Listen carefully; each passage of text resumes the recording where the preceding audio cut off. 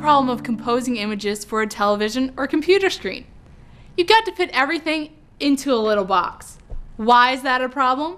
Well, it's way different than what you're used to seeing. Here, I'll prove it to you. Imagine if I were standing in one end of the studio, you would probably see me like this. But while this might be a good field of vision, it's actually a bad television picture because of all the wasted space around me.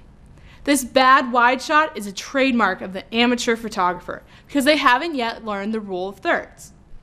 The rule of thirds is the main rule for composing images, either still or moving. It requires you to mentally put a tic-tac-toe board on the viewfinder and to place your subject at the intersections of the lines. Does this sound a little confusing? Well, let me break it down for you with two easy examples. The first is that the eyes of your subject should always fall on the top one-third horizontal line, no matter how close or far away the picture. Let's go back to the wide shot. This is how an inexperienced photographer would shoot it. Notice that my eyes are in the center of the image, leaving way too much headroom, which is the distance from the top of my head to the top of the frame. But professionals know that the eye should really fall in the top one-third line, like this. Now let's zoom into the medium shot. Notice that you will have to tilt up to keep the eyes on the top one-third line. The same goes for the close-up and the extreme close-up. For an extreme close-up, you will have to cut off the top of the subject's head, but this is actually okay because the mouth and the chin are way more important than that hairdo. This also leaves space at the bottom of the screen for titles.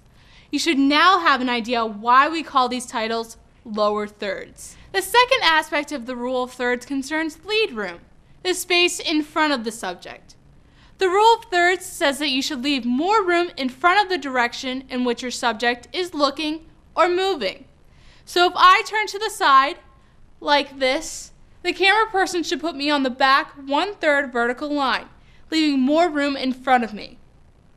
Similarly, if I'm walking, the camera person should move with me to maintain this lead room. One good way to practice the rule of thirds is look for it when you're watching television. You will notice that the professionals usually follow the rule of thirds, only breaking it for special reasons. Let's apply the rule of thirds in the Nortel Learn It training video, Helicopter Days. Pause right there. Check out the lead room in this shot and notice where the eyes are placed on the grid.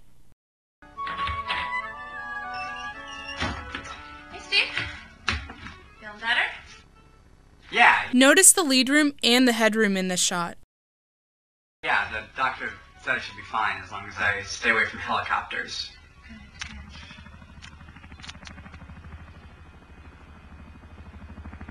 Notice where the eyes are and how the window is acting as a talent. No, it can't be. See? You're becoming more like a professional already. You'll never look at TV the same way again, and you now know how to vastly improve your photography by using the rule of thirds. It's a beautiful thing.